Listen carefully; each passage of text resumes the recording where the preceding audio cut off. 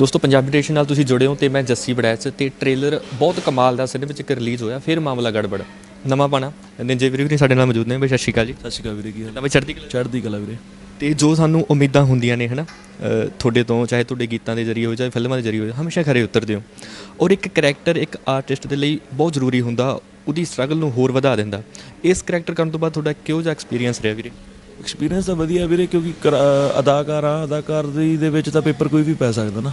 ਤੇ ਤੇ ਜਿਹੜਾ ਵੀ ਪੇਪਰ ਮੈਨੂੰ ਪਿਆ, ਮੈਂ ਉਹਨੂੰ ਇਹੀ ਕੋਸ਼ਿਸ਼ ਕੀਤੀ ਵੀ ਮੈਂ ਇਸ ਤਰੀਕੇ ਨਾਲ, ਕਿਉਂਕਿ ਜਿਹੜੀ ਅਦਾਕਾਰੀ ਉਹ ਬਸ਼ਰਮੀ ਦਾ ਕੰਮ ਹੈ। ਉਹਦੇ ਵਿੱਚ ਸ਼ਰਮ ਸ਼ਰਮ ਵਾਲਾ ਪਾਸਾ ਨਹੀਂ ਰਹਿ ਜਾਂਦਾ, ਕਿਉਂਕਿ ਜਦੋਂ ਅਸੀਂ ਕਿਸੇ ਕਿਰਦਾਰ ਨੂੰ ਕਰਨ ਜਾਂਦੇ ਆ ਤਾਂ ਉਹਦੇ ਵਿੱਚ ਕੁਝ 네ਗੇਟਿਵ ਵੀ ਹੁੰਦਾ ਤੇ ਕੁਝ ਪੋਜ਼ਿਟਿਵ ਤੇ ਜਿਹੇ ਜੀ ਸੋਸਾਇਟੀ ਦੇ ਵਿੱਚ ਆਪਾਂ ਰਹਿੰਦੇ ਤਾਂ ਆਪਾਂ ਤਾਂ ਤਾਨੇ ਮਿਹਣਾ ਤੋਂ ਡਰਦੇ ਆ ਤੇ ਇਹਦਾ ਕੋਈ ਜਦੋਂ ਤੁਸੀਂ ਆਪਣੇ ਕੰਮ 'ਚ ਲੱਗੇ ਹੋ ਤਾਂ ਫਿਰ ਕਾਹਦੇ ਤਾਨੇ ਤੇ ਕਾਹਦੇ ਮਿਹਣੇ ਤੇ ਪਤਾ ਹੀ ਆ ਵੀ ਜਦੋਂ ਕੁਝ ਗਲਤ ਕਹੂ ਤਾਂ ਮੂਰੋਂ ਪਊਗਾ ਹੀ।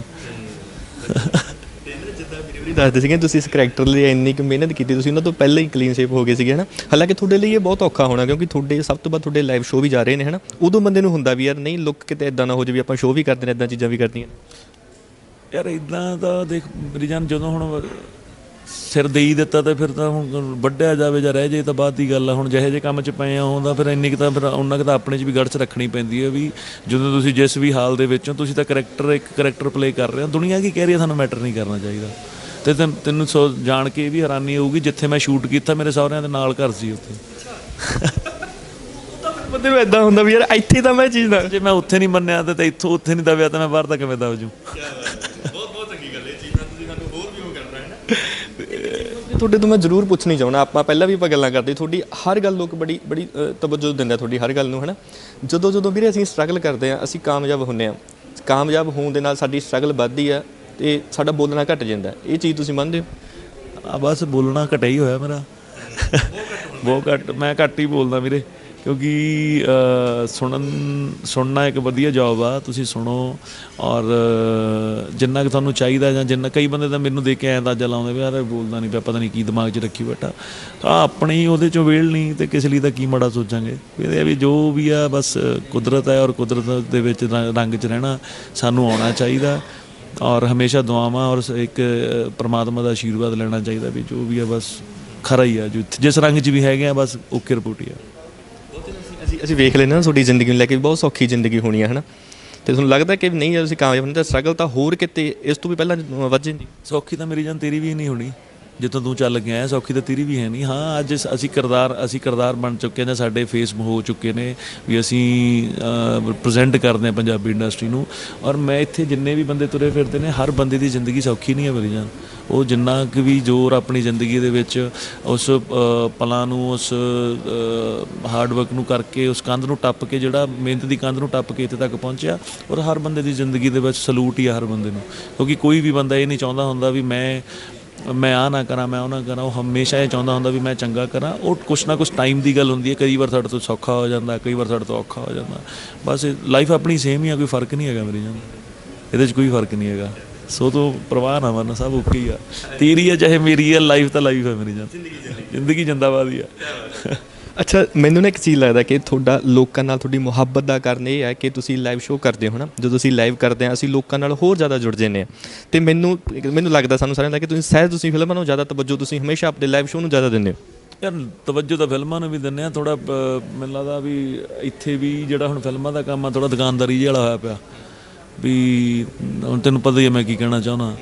ਤੁਸੀਂ ਉਹ ਗੱਲ ਤੁਸੀਂ ਕਈ ਵਾਰ ਨਹੀਂ ਕਹਿੰਦੇ, ਤੁਸੀਂ ਭੁੱਲ ਜਾਂਦੇ ਹੋ ਕਿਉਂਕਿ ਤੁਹਾਡੇ ਕੋਲੇ ਮਾਈਕ ਹੈ, ਇਹ ਗੱਲ ਤੁਸੀਂ, ਤੁਹਾਡੇ ਮੂੰਹ ਤੁਸੀਂ ਕਹੋਗੇ ਤਾਂ ਸ਼ਾਇਦ ਉਹ ਜ਼ਿਆਦਾ ਕਿਸੇ ਦੇ ਕੰਨ ਖੋਲੂਗੀ। ਮੈਂ ਬੋਲੂੰਗਾ ਤਾਂ ਇੱਕ ਬੰਦੇ ਨੂੰ ਐ ਲੱਗੂਗਾ, ਸ਼ਾਇਦ ਇਹ ਸਾਡੇ ਬਾਰੇ, ਸਾਡੇ ਨਾਲ ਪਤਾ ਨਹੀਂ ਕੀ ਲੱਗਦੀ ਹੈ ਖੁੰਦਕ ਖੁੰਦਕ ਨਹੀਂ ਹੁੰਦੀ, ਹਰ ਬੰਦੇ ਨੇ ਮਿਹਨਤ ਕੀਤੀ ਹੈ ਯਾਰ, ਹਰ ਬੰਦੇ ਨੂੰ ਸਭ- ਮਤਲਬ ਫਿਲਮਾਂ ਦਾ ਤਾਂ ਇੰਨਾ ਕੁ ਹੁਣ ਇਹੋ ਜਿਹਾ ਬ- ਵਿਸ਼ਵਾਸ ਜਿਹਾ ਉੱਠੀ ਜਾਂਦਾ ਵੀ ਯਾਰ ਵੀ ਜਿੰਨੀ ਕੁ ਮਿਹਨਤ ਆਪਾਂ ਕਰਦੇ ਆ, ਵੀ ਕਈ ਵਾਰ ਐਡੇ ਲਾਣੇ ਨੂੰ ਸਮਝਾਉਣਾ ਹੀ ਔਖਾ ਹੋ ਜਾਂਦਾ ਵੀ ਬੰਦਾ ਚਾਹੁੰਦਾ ਕੀ ਹੈ, ਬੰਦਾ ਸਿਰਫ ਇਹ ਚਾਹੁੰਦਾ ਹੁੰਦਾ ਵੀ ਜਿਸ ਨੀਅਤ ਨਾਲ ਤੁਸੀਂ ਮੈਨੂੰ ਆਏ ਹੋ, ਮੇਰੇ ਕੋਲੇ ਆਏ ਹੋ ਜਾਂ ਮੈਨੂੰ, ਮੇਰੀ ਝੋਲੀ 'ਚ ਕੁਝ ਜੋ ਵੀ ਮੇਰਾ ਬਣਦਾ ਸਰਦਾ ਮੈਨੂੰ ਦੇ ਕੇ ਗਏ ਹੋ, ਵੀ ਉਹਦਾ 100% ਲੈ ਕੇ ਜਾਓ।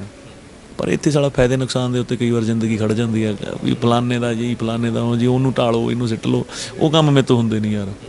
ਤੇ ਫਿਰ ਮੇਰੀ ਗਾਣਿਆਂ ਦੀ ਦੁਨੀਆ, ਮੇਰੀ ਆਪਣੀ ਦੁਨੀਆ, ਮੈਂ ਚਾਹੇ ਉਹਦੇ ਵਿੱਚ ਨਹੀਂ ਨਹੀਂ ਚੁਆਇਸ ਵੀ ਚੁਆਇਸ ਵੀ ਹੁੰਦੀ ਆ ਪਰ ਉਹਦੇ ਵਿੱਚ ਮਰਜ਼ੀ ਵੀ ਹੁੰਦੀ ਹੈ ਨਾ। ਤੇ ਔਰ ਇਹ ਵੀ ਆ ਵੀ ਜਿੰਨਾ ਕੁ ਕੰਮ ਅਸੀਂ ਕਰਦੇ ਪਏ ਆ ਉਹਨੂੰ ਪਰਮ- ਪ੍ਰਮਾਤਮਾ ਵੱਲੋਂ ਸਪੋਰਟ ਵੀ ਇਹਨੂੰ ਅਸੀਂ ਸ- ਮਿਹਨਤ ਕਹਿ ਸਕਦੇ ਹਾਂ, ਇਹਨੂੰ ਹੰਕਾਰ ਨਹੀਂ ਕਹਿ ਸਕਦੇ। ਮੈਂ ਇਸ ਚੀਜ਼ ਨੂੰ ਮਿਹਨਤ ਕਹਿ ਸਕਦਾ ਵੀ ਜੇ ਮੇਰੀ ਚੀਜ਼ ਨੂੰ ਲੋਕ ਪਿਆਰ ਕਰਦੇ ਨੇ ਸ਼ਾਇਦ ਕੀ ਪਤਾ ਮੈਂ ਕਿੰਨੀ ਕਿੰਨਾ ਇਸ ਚੀਜ਼ ਨੂੰ ਧਿਆਇਆ ਹੋਵੇ। ਔਰ ਮੈਂ ਸਾਰੇ ਪ੍ਰੋਡਿਊਸਰਸ ਨੂੰ ਸਾਰੇ ਡਾਇਰੈਕਟਰਸ ਨੂੰ ਇਹ ਜ਼ਰੂਰ ਕਹੂੰਗਾ ਵੀ ਜਿਸ ਕੰਮ ਦੇ ਵਿੱਚ ਚਾਹੇ ਮੈਂ ਵਾਂ ਚਾਹੇ ਕੋਈ ਵੀ ਆਰਟਿਸਟ ਆ ਹਰ ਬੰਦੇ ਦੀ ਇੱਕ ਬਹੁਤ ਜ਼ਿਆਦਾ ਲੰਬੀ ਜਰਨੀ ਆ ਇਸ ਪ੍ਰੋਜੈਕਟ ਦੇ ਕਿਸੇ ਵੀ ਪ੍ਰੋਜੈਕਟ ਦੇ ਵਿੱਚ ਜੁੜਨ ਦੀ। ਪਰ ਉਹਨੂੰ ਸਪੋਰਟ ਇਸ ਤਰੀਕੇ ਨਾਲ ਕਰੋ ਵੀ ਉਹ ਚਾਈ ਚਾਈ ਚੀਜ਼ ਨੂੰ ਆਪਾਂ ਵਿਆਹ ਕੇ ਤੋਰੀਏ ਵੀ ਜਿਹੜੀ ਕਿ ਹਰ ਪਾਸ ਜਿੱਥੇ ਜਾਵੇ ਉੱਥੇ ਉਹ ਬਸ ਅ, ਸੁਖੀ ਵੰਡੇ ਹੋਰ ਤਾਂ ਕੁਝ ਨਾ ਹੋਵੇ। ਫਿਰ ਮੈਂ ਤੁਹਾਡੇ ਤੋਂ ਸਵਾਲ ਮੈਂ ਜਦੋਂ ਤੁਸੀਂ ਫਿਲਮਾਂ ਦੀ ਗੱਲ ਕੀਤੀ ਹੈ, ਜੇ ਮੈਂ ਗਲਤ ਹਾਂ ਤਾਂ ਮੈਨੂੰ ਟੋਕ ਦਿਓ। ਜਦੋਂ ਆਪਾਂ ਨਾ ਫਿਲਮਾਂ ਹਿੱਟ ਹੋ ਜਾਂਦੀਆਂ ਨੇ ਬਹੁਤੀਆਂ ਹਨਾ? ਅਸੀਂ ਲਾਈਵ ਸ਼ੋਅ ਘਟਾ ਦਿੰਨੇ ਆ ਤੁਹਾਡੇ ਨਾਲ ਹੀ ਕਦੇ ਚੀਜ਼ ਜ਼ਿੰਦਗੀ 'ਚ ਤੁਸੀਂ ਸੋਚੇ ਹੋ? ਜੇ ਮੈਂ ਫਿਲਮਾਂ 'ਚ ਮੈਂ ਜ਼ਿਆਦਾ ਕਰੂੰ ਜਾਂ ਹਿੱਟ ਕਰੂੰਗਾ ਤਾਂ ਮੈਂ ਲਾਈਵ ਸ਼ੋਅ ਘੱਟ ਕਰ ਦੂੰ। ਨਾ ਭਰਾਵਾ, ਉਹ ਤਾਂ ਮੇਰੇ ਆਪਣੀ ਇੱਕ ਖੁਰਾਕ ਹੈ, ਉਸ ਉਸ ਲਾਈਫ ਦੀ, ਉਸ ਉਸ ਜ਼ਿੰਦਗੀ ਨੂੰ ਜਿਉਣ ਦੀ, ਜਿਹੜੀ ਕਿ ਸ਼ਾਇਦ ਮੈਂ ਕਦੀ ਵੀ ਨਹੀਂ ਕੱਢ ਸਕਦਾ। ਮੇਰੇ ਲਈ ਪ੍ਰਾਇੋਰਟੀ ਹਮੇਸ਼ਾ ਮੇਰਾ 뮤직 ਰਿਹਾ। ਮੈਂ ਤਾਂ ਇਸ ਗੱਲ ਤੇ ਕਈ ਵਾਰ ਆਪਣੇ ਟੀਮ ਨਾਲ ਵੀ ਖਿੱਚਦਾ ਹੁੰਨਾ ਵੀ ਵੀ ਜਿਸ ਟਾਈਮ ਤੇ ਸੀਜ਼ਨ ਹੁੰਦਾ, ਉਸ ਟਾਈਮ ਤੇ ਤੁਸੀਂ ਫਿਲਮ ਨਾ ਫੜਿਆ ਕਰੋ। ਉਹ ਸਾਡਾ ਇੱਕ ਬੰਦਾ ਸੀਗਾ, ਜਿਹੜਾ ਜਿਹਦੀ ਮੈਨੇਜਮੈਂਟ ਮੇਰੇ ਕੋਲ, ਜਿਹਦੀ ਪ- ਪਹਿਲਾਂ ਮੈਨੇਜਮੈਂਟ ਫੜੀ ਹੋਈ ਸੀ, ਜਿਹਨੇ ਉਹ ਮਾਂ ਦੇ ਸ਼ੇਰ ਨੇ ਮਤਲਬ ਆਪਣਾ ਟੱਟੂ ਜਿੱਥੇ ਭਜਾਇਆ ਉਹਨੇ ਉਹ ਉੱਥੇ ਹੀ ਫਿੱਟ ਕਰਦਾ ਰਿਹਾ। ਅਸੀਂ ਸੀਗੇ ਵੀ ਚੱਲ ਪਿਆਰ ਮੁਹੱਬਤ ਹੈਗਾ ਵੀ ਕੁਝ ਨਹੀਂ ਹੁੰਦਾ ਯਕੀਨ ਤੇ ਰਹਿ ਗਏ।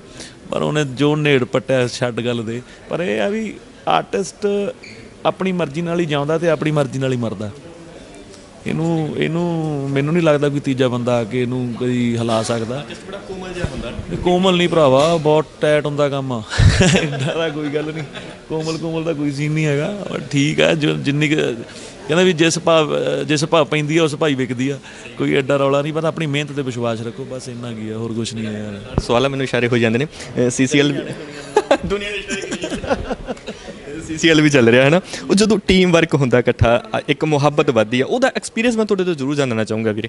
ਯਾਰ ਐਕਸਪੀਰੀਅੰਸ ਤਾਂ ਦੇਖ ਲਾ ਭਾਵੇਂ ਪਿੰਡ ਦੀ ਕਬੱਡੀ ਦੀ ਟੀਮ ਹੋਵੇ। ਤਜਰਬਾ ਤਾਂ ਉਹੋ ਜਿਹਾ ਹੀ ਆ, ਚਾਹੇ ਖੋ-ਖੋ ਦੀ ਟੀਮ ਹੋਵੇ, ਚਾਹੇ ਕ੍ਰਿਕਟ ਦੀ ਟੀਮ ਹੋਵੇ, ਜੋ ਚੀਜ਼ਾਂ ਅਸੀਂ ਇੱਕ ਪ- ਆਪਣੇ ਘਰ ਚੋਂ ਸ਼ੁਰੂ ਕਰਦੇ ਆ, ਉਹੀ ਵੱਡੇ ਗਰਾਊਂਡਾਂ ਦੇ ਵਿੱਚ ਜਾ ਕੇ ਵੀ ਉੱਥੇ ਵੀ ਇੱਕ ਸਿਮਿਲਰ ਹੀ ਆ, ਉੱਥੇ ਇੱਕ ਮਿਹਨਤ ਹੈ, ਇੱਕ ਵਿਸ਼ਵਾਸ ਹੈ, ਆਪਣੇ ਉਸ ਹਰ ਕਿਰਦਾਰ ਦੇ ਉੱਤੇ ਜੋ ਤੁਸੀਂ ਨਾਲ ਲੈ ਕੇ ਖੜੇ ਹੋ। ਜਦੋਂ ਉਸ ਕਿਰਦਾਰਾਂ ਦੇ ਉੱਤੇ ਤੁਹਾਨੂੰ ਭਰੋਸਾ ਹੁੰਦਾ, ਤੁਹਾਨੂੰ ਵਿਸ਼ਵਾਸ ਹੁੰਦਾ, ਫਿਰ ਉਹ ਚੀਜ਼ ਆਪੇ ਵਿਨ ਕਰਦੀ ਹੈ। ਜਿੱਥੇ ਤੁਹਾਡਾ ਸੈਲਫ ਡਾਊਟ ਹੁੰਦਾ, ਉੱਥੇ ਤੁਸੀਂ ਹਮੇਸ਼ਾ ਵੜਦੇ ਹੋ। ਉੱਥੇ ਕਦੀ ਨਿਕਲੇ ਨਹੀਂ, ਉੱਥੇ ਵੜਦੇ ਹੀ ਹੋ। ਸੋ ਆਪਣੇ ਤੇ ਜਿਹਨੇ ਜਿਹਦੇ ਨਾਲ ਤੁਸੀਂ ਖੜਦੇ ਹੋ, ਉਹਨਾਂ ਨਾਲ ਸਪੋਰਟ ਕਰੋ ਔਰ ਪਿਆਰ ਕਰੋ, ਇਹੀ ਇੱਕ ਫਲਸਫਾ ਜ਼ਿੰਦਗੀ ਦਾ। ਔਰ ਹਮੇਸ਼ਾ ਜਿੰਦਾਬਾਦ ਰਹੋ, ਇਹੀ ਜ਼ਿੰਦਗੀ ਦਾ ਇੱਕ ਸਫ਼ਰ ਹੈ ਜਿਹਨੂੰ ਤੁਸੀਂ ਮਾਣ ਨਾਲ ਹਨਾਉਨੇ ਹੋ। ਬਹੁਤ ਚੰਗਾ ਲੱਗਿਆ ਵੀਰੇ, ਆਪਣੇ ਨਾਲ ਗੱਲ ਕਰਕੇ। Thank you so much thank you ਵੀਰੇ thank you thank you thank you